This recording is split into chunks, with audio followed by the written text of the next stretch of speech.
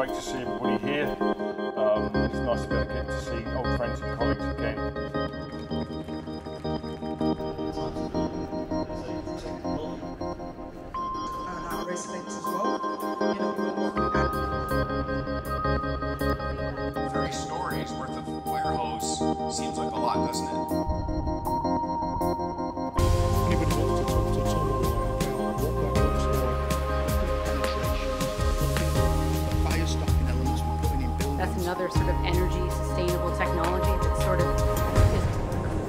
works against us. It also burns the grass in my yard.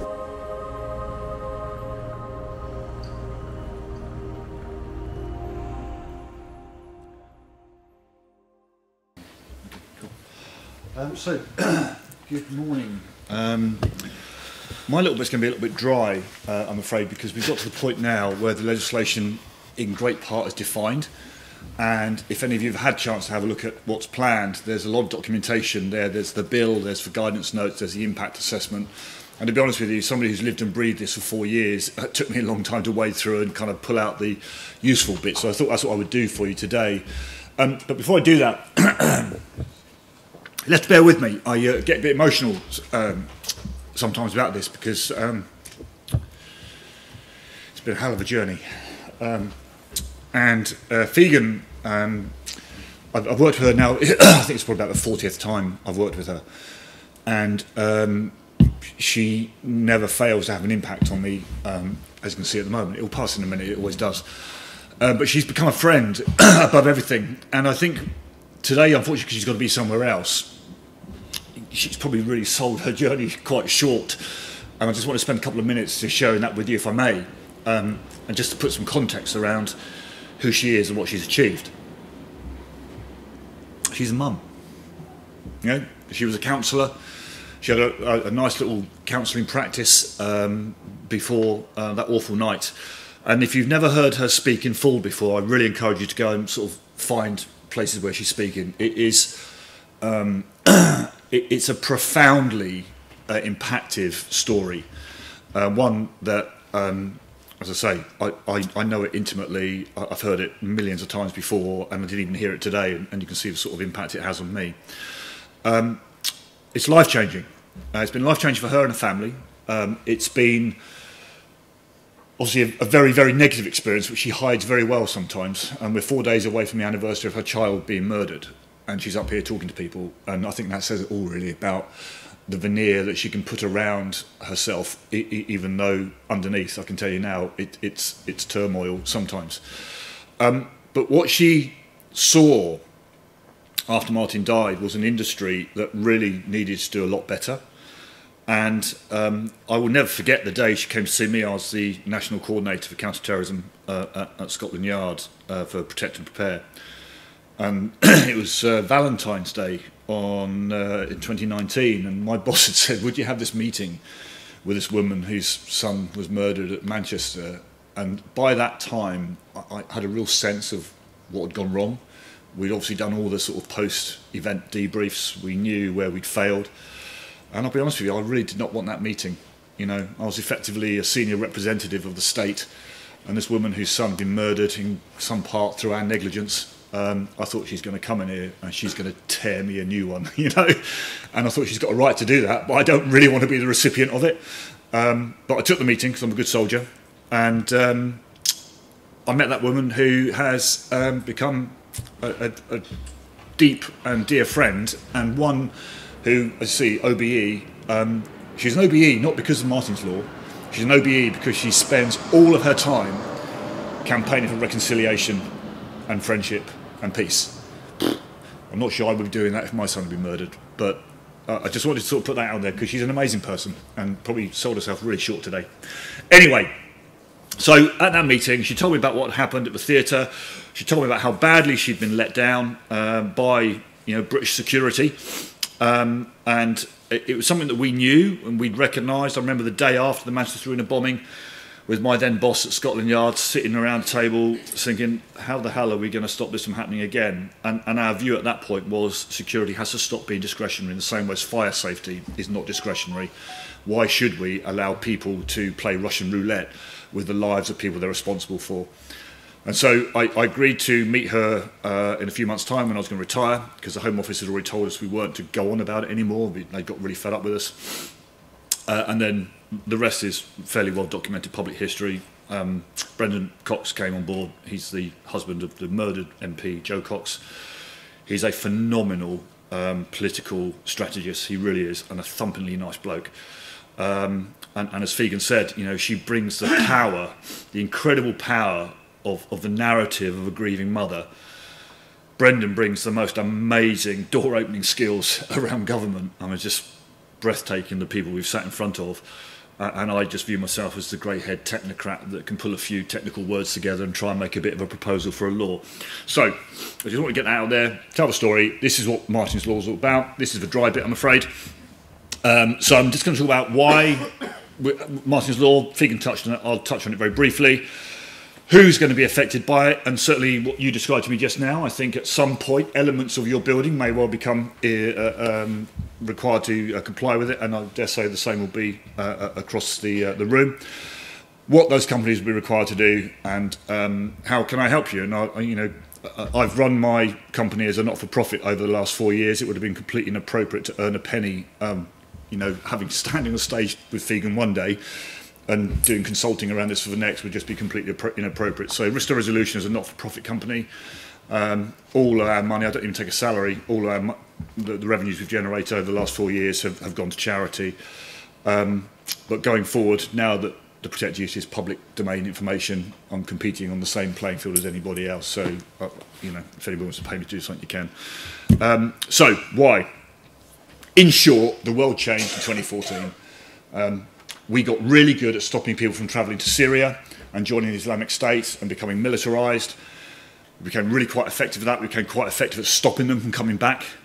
And so, um, a, a, an Islamic State spokesperson, one of their leadership group, uh, a, a man, Al Adnani was his name, um, he put out a call basically to everybody around the world and said, Look, don't come, you can't get here, don't come and join the fight, stay where you are at home, stay at home, take the fight to the infidel at home. Pick up a knife, pick up a rock, drive a car, do it anything you can, and attack people at home. And in that statement, he successfully mobilized the terrorist community that lives inside our society. And from that period onwards, 2014, 2015, 2016, we saw this rolling wave of terrorism come across Europe and finally land on our shores in 2017. And, and that, as I say, is well documented history. And although we haven't seen a wave of successful attacks since 2017, we see continuous ongoing attack planning with something in the region of 800 active investigations by the security services and the police in play as I speak today. So it hasn't gone away. Um, we have the most amazing security and intelligence functions in this country, but they will fail. As Fegan said, people sit at home, they radicalise themselves in their bedrooms, on the internet, talking to each other in chat groups. And the radicalisation process we have seen compress significantly. You know, in the past it would have been months, weeks at the most, at the least rather. We're seeing it in days. Um, the, the shortest case I've been aware of from the point of somebody not having previously expressed any perverse views at all to the point at which they've actively sought to commit an attack is five days. And our intelligence services haven't got a hope in hell's chance of intercepting that. So, without going through this list in great detail, um, not least of all, it's not even showing up very well on there. Um, bottom line is we've got to change. So we've changed in several ways already. You know, prevent. We've sought to try and stop the radicalisation in its roots. We have invested millions of pounds, probably billions of pounds, in our policing and intelligence services. But what we haven't done is invested anywhere near the same amount in protective security. And what Martyn's Law will do is it will put that compulsion on us as a community. It will mobilise us in the same way as Adnani mobilised the terrorist community. It will mobilise us to respond and, and protect ourselves and the people that we are responsible for, our customers. So, the bill was published about two weeks ago. And there are, as with all bills, some definitions that it's worth knowing about. So the first thing to talk about is qualifying public premises and um, qualifying activity. I'm not going to go through this list, you can read it yourselves. Um, But in essence, it is anywhere that the public, and the word public is the key to all of this. So they're not going to start imposing protect duty on a trading floor over at Canary Wharf or uh, you know whoever is occupying 22 Bishopsgate. But in those areas that you open up to the public, if the capacities are the right level, then absolutely that then comes into play. We'll talk about capacities in a moment. But this is more than we asked for, and, and we're enormously grateful to the Home Office and government for pursuing you know, our vision in the way that they have. What um, what I want to cover in a moment is although we have a list of a number of areas there, like aerodromes, um, railway stations, uh, and education, there are some exemptions, and I'll talk about that in a minute because fundamentally one of them is if there's existing statutory requirements around protecting places, as there are at airports and there are uh, on the rail network, then that isn't in play for Martyn's Law. The existing regulations will um, have primacy. So we talk about premises, where that activity takes place. Of course, as we all know, we are a country that loves a good event, and it's absolutely appropriate that we look after events as well. Now, the, the, the qualifiers for events are that it's taking place at somewhere that isn't already a qualifying premises. That makes sense to me. Um, has to be accessible to the public or a section of the public for the purpose of attending that event. All right? and the access has to be by express permission only, um, on payment or otherwise. Now, why have I highlighted that? There's one gaping hole in this legislation, and the gaping hole is outdoor events that are open to the public at large. So I can think of some such as big carnivals, um, Christmas markets, these are all public events that we actually know, sadly from history, terrorists have become incredibly attracted to because crowds get there and crowds are what terrorists nowadays want to attack. Um, so, where there is a weakness in the law at the moment that we're actively working on with government to try and close, and all contributions are most welcome if anybody has brilliant ideas, um, is around this. So, Great that, we're, great that we are covering premises, great that we're covering events. Weakness, we're not covering all events. And what this really means is if you're having a public open door, uh, open space event, if it hasn't got a boundary around it or some way of exercising control over who comes through it, then it's not going to be in play. And when we think about um, Berlin Christmas Market, uh, when we think about, can't remember, was Strasbourg, was it? I think uh, Christmas Market. Uh, when we think about uh, the attack on the just after the Dutch royal family gone through uh, procession in the Netherlands, when we think about um, the awful um, Bastille Day attack in Nice, these were all open, unbounded events, um, and you know just those four I've listed there resulted in you know about 100 people dying and hundreds more being brutally injured. So, um, I'm kind of labouring to a little bit because, as Figen said, last night we met with the chair of the Home Affairs Select Committee, who was the most gracious woman, uh, she really was, and invited us to try and work with the committee to try and create a way of resolving this. I just want to get the message out there that Martyn's Law is not a done deal. Okay, if anybody, some of you I know have followed what we're doing, what we're trying to achieve, and, and we're incredibly proud to have got it this far. But Martyn's Law is not a done deal. Okay, it's not in the statute books. It hasn't been through Parliament yet.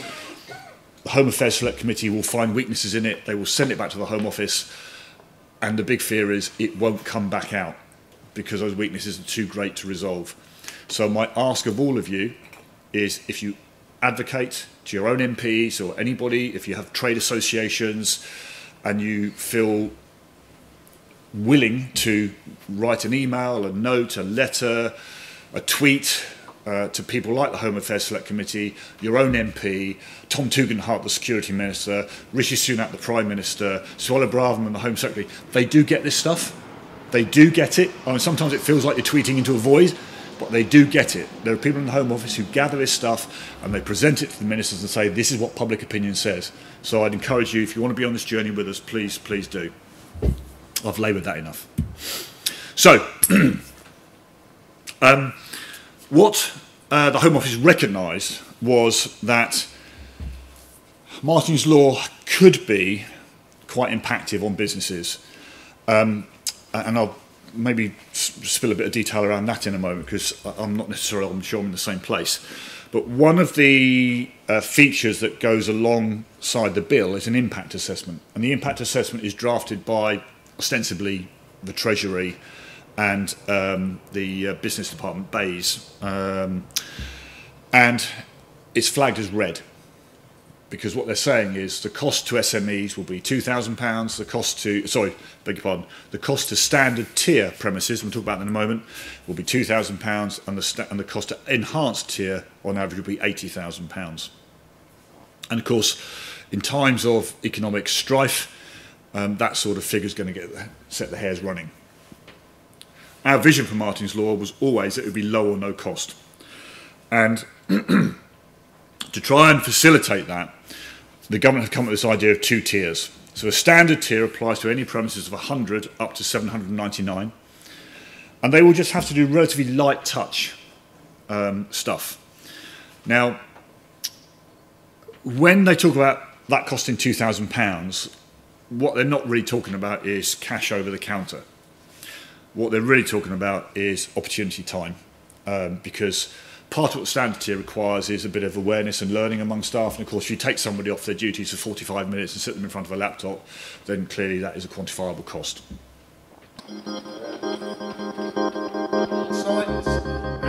Book your tickets now for the 8th International Tall Building High Rise Fire Safety Conference, taking place alongside FDIC in Indianapolis, US, on the 15th to the 17th of April 2024. Three days of world class speaker presentations, debates, and networking.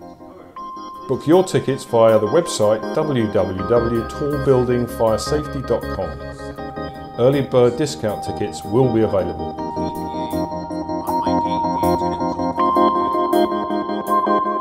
The Tall and High Rise Building Fire Safety Management course is ideal for anyone who has responsibility for fire safety management in tall and high rise buildings.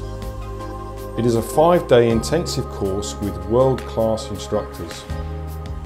You can get full details of the course on our website www.tallbuildingfiresafety.com.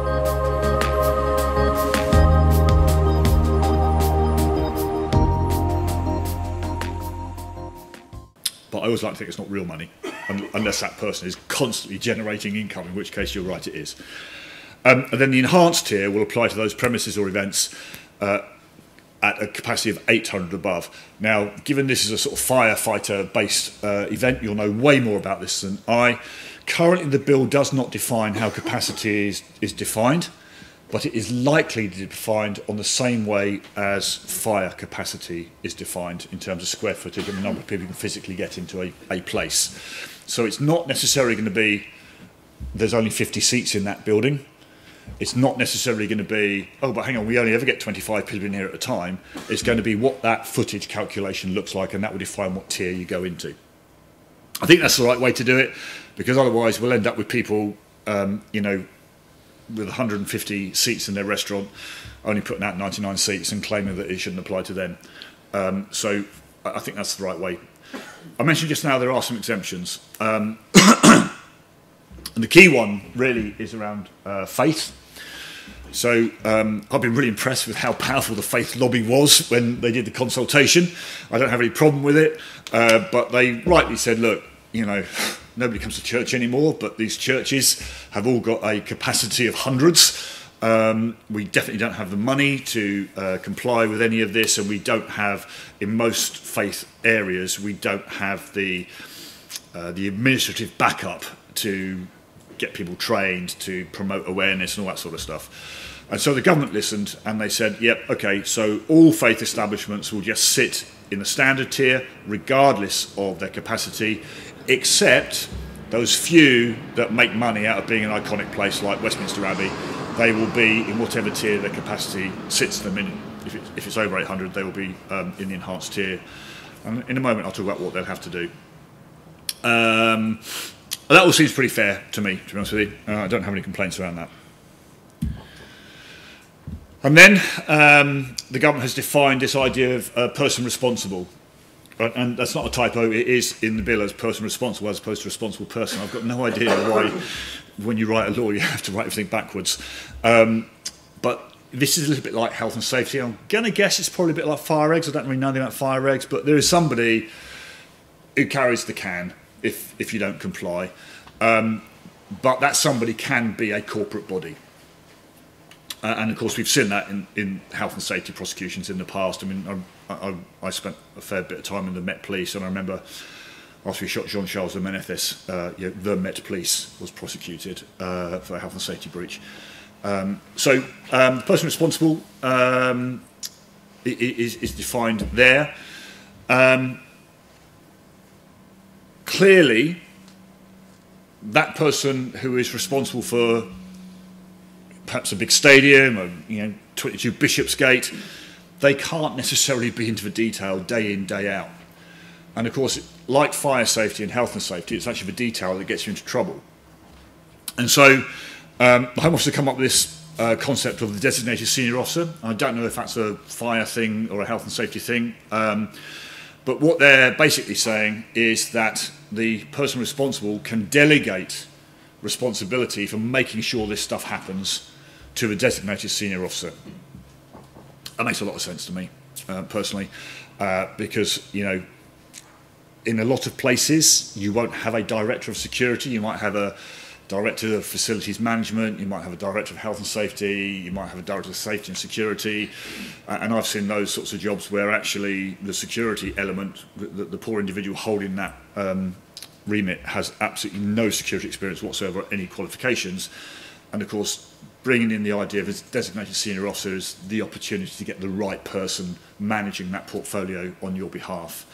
Um, but clearly, uh, the person responsible can't abdicate responsibility, um, and they have to make sure that that person is the right person, um, and they have to make sure um, that if the person responsible is a corporate body, they don't completely um, delegate their responsibilities and try and shift it off the company altogether. It has to stay, the DSO has to stay with a director inside the company. Um, I have a non-executive directorship with a fairly big security company, and it's quite interesting to see the sort of contracts that are written between client and um, and contractor. Um, that there is inside contracts quite a lot of displacement. I don't think it's intentional. It's just you know the way contracts are written sometimes can be a bit sloppy. There's quite a lot of displacement of, of responsibility, um, and that just can't happen in the future. Somebody's got to hold the can. Somebody's got to make sure the stuff is done properly.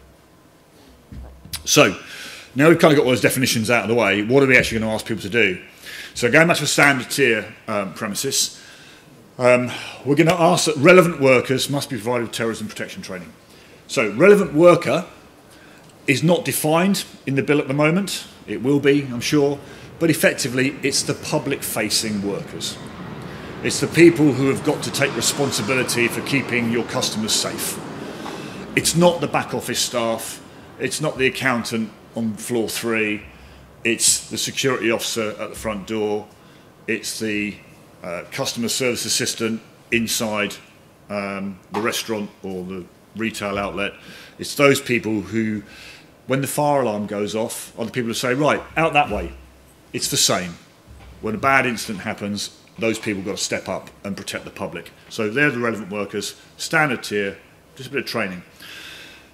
The bill doesn't specify what the training is at the moment. It says that the regulator, and we'll talk about regulation in a moment, will define what that training needs to be from time to time.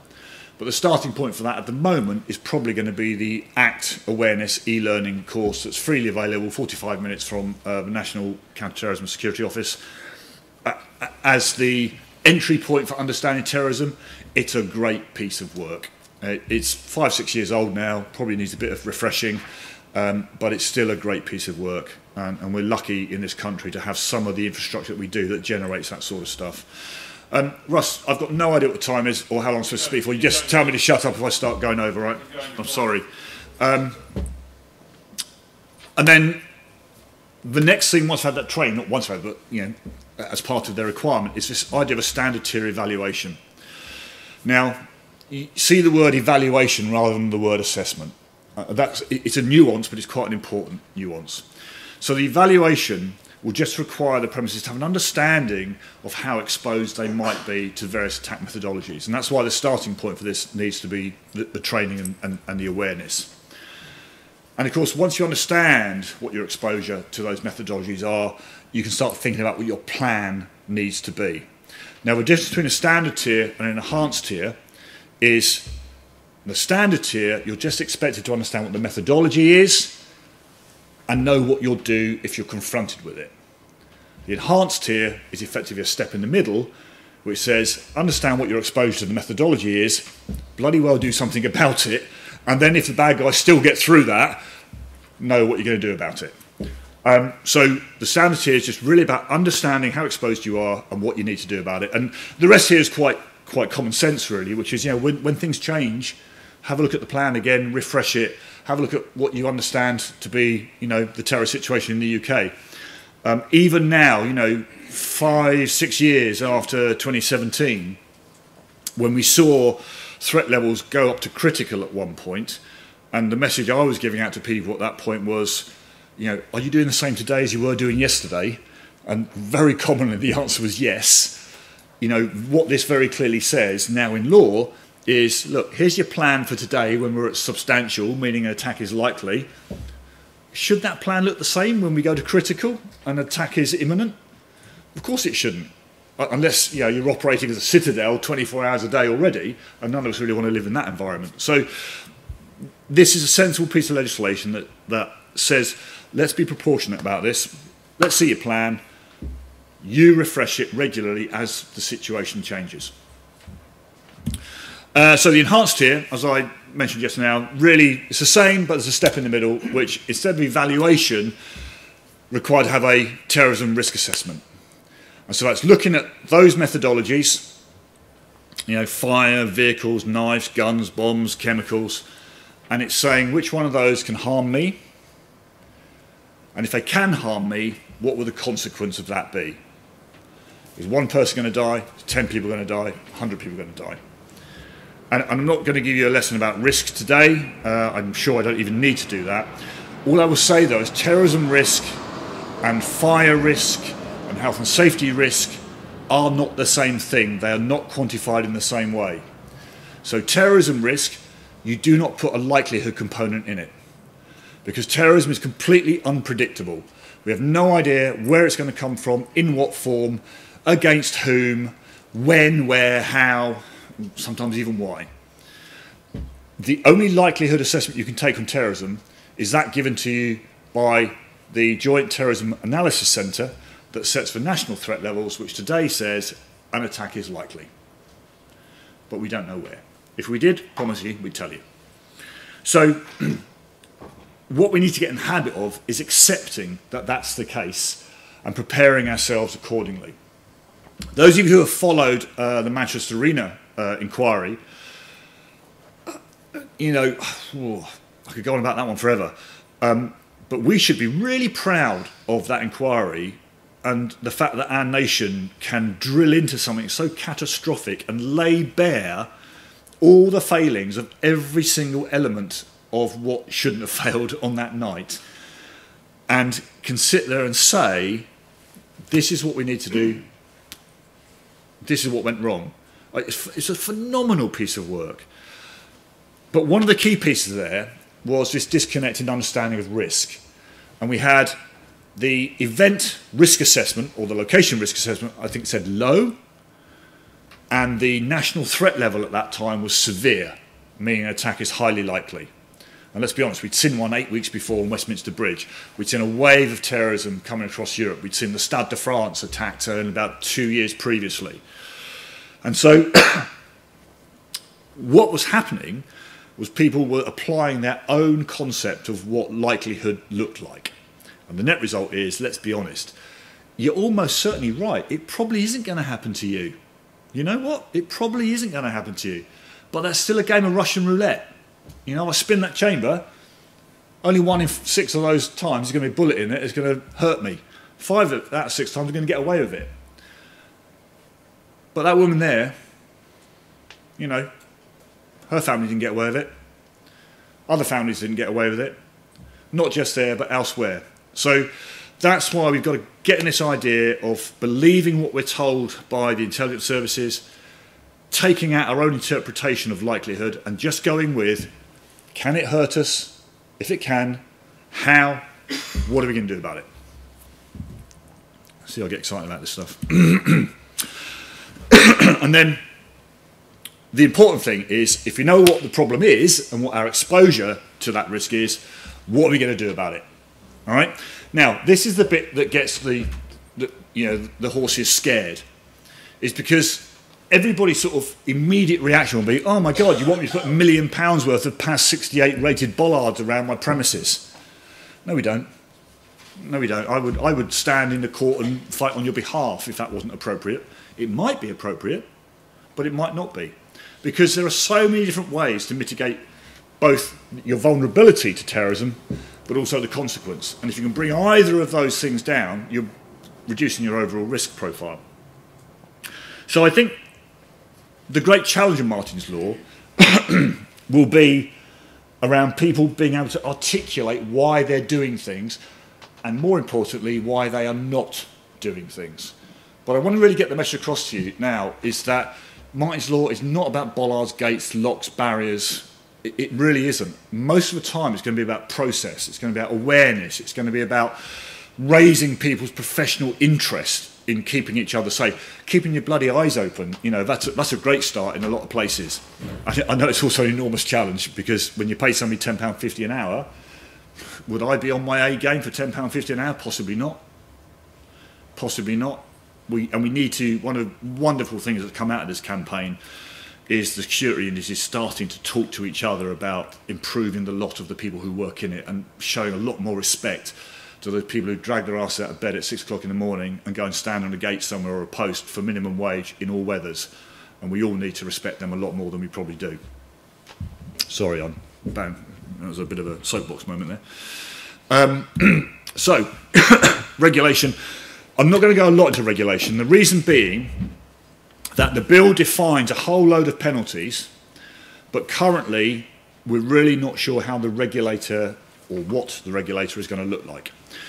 What we do know is the regulator is going to have power to issue incredible penalties. So for offences in the enhanced tier, they're looking at that top bracket of penalty in the same way as you have the health and safety executive, which is I think, 18 million pounds or 5% of global turnover, whichever is the greater. I love those phrases, whichever is the greater. So, you know, if you are a global entertainment empire uh, and you're taking chances with people's safety and security, then by jingo, that's a big old fine. Um, but actually, more importantly, although they've got all these, uh, you, you know, important powers to give this law teeth, the ethos of Martyn's Law and the ethos of the regulator will be improvement. It will be supportive, encouraging improvement. That's what we want. That's all we've ever wanted, quite frankly.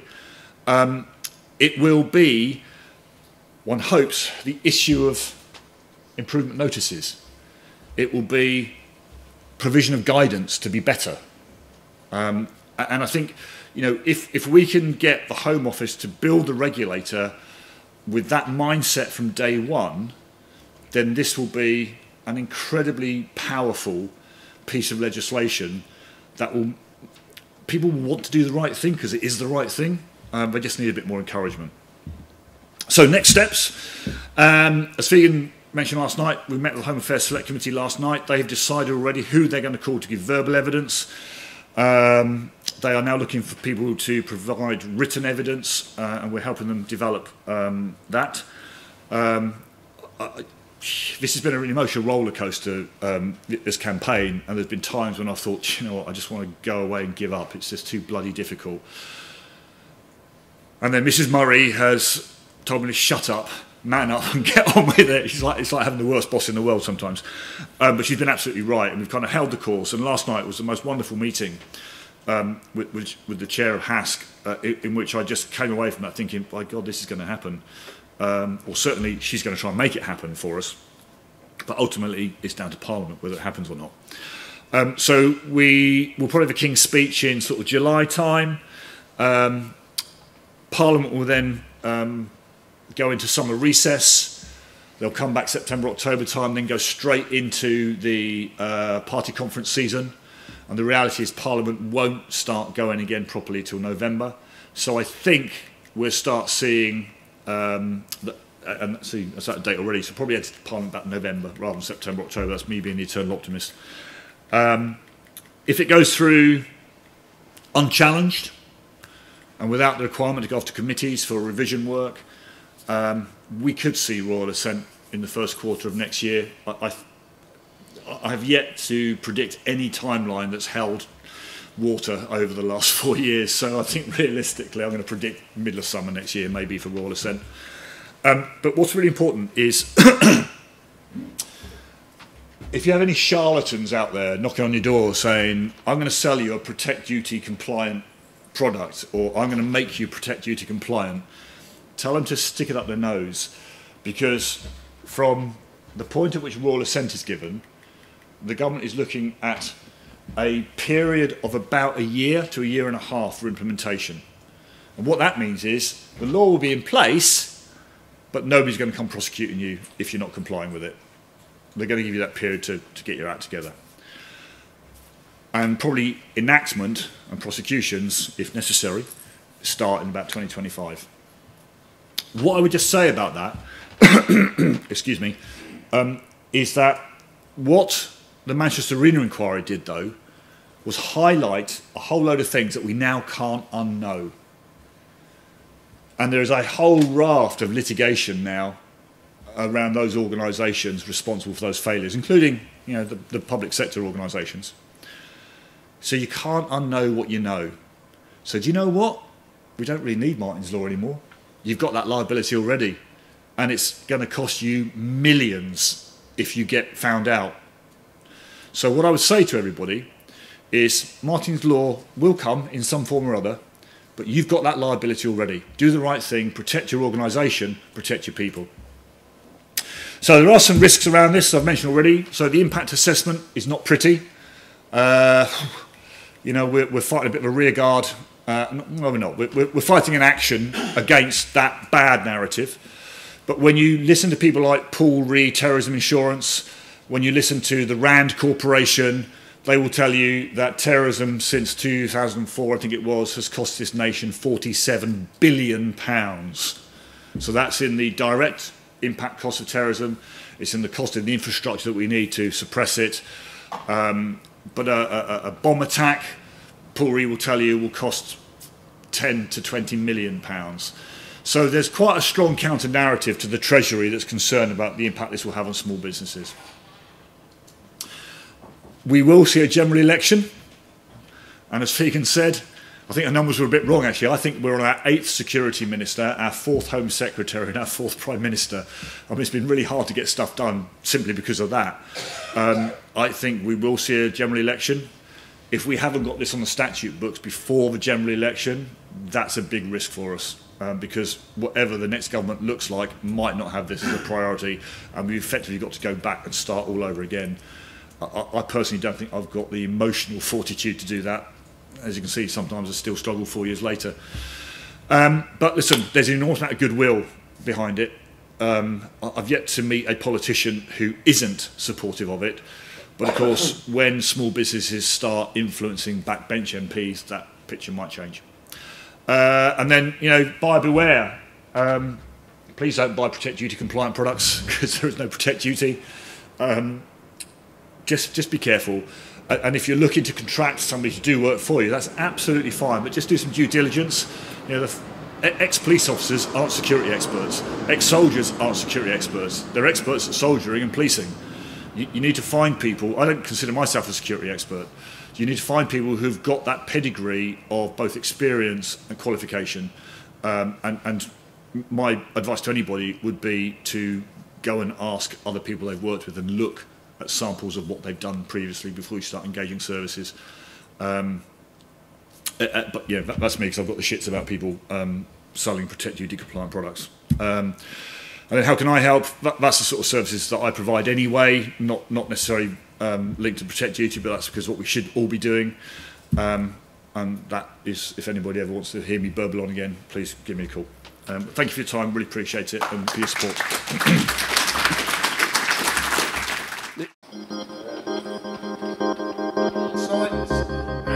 Book your tickets now for the 8th International Tall Building High Rise Fire Safety Conference, taking place alongside FDIC in Indianapolis, US, on the 15th to the 17th of April 2024. Three days of world class speaker presentations, debates, and networking.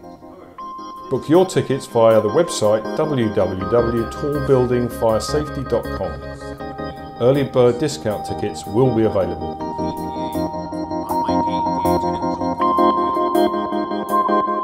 The Tall and High Rise Building Fire Safety Management course is ideal for anyone who has responsibility for fire safety management in tall and high rise buildings. It is a five day intensive course with world class instructors. You can get full details of the course on our website www.tallbuildingfiresafety.com.